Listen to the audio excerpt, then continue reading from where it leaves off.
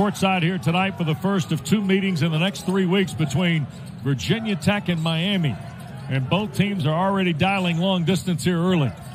Here's Pedulla, a two pointer that's good. And Omier won't miss many of those, but Virginia Tech also shot better than 50% from the three point line. Wow. Is that good? In his last two. And he has not skipped a beat on a Saturday night. For both teams. Right. Kidd, here's Nickel. Pedulla heaves and hits. Now Pedulla was standing there waiting for the ball.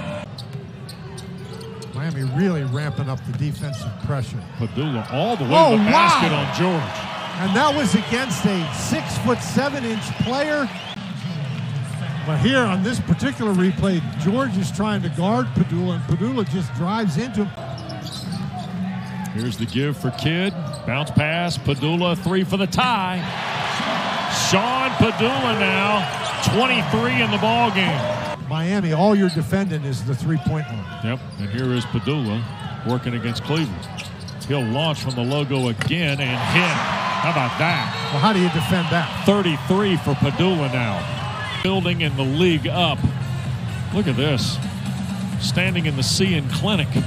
Wow.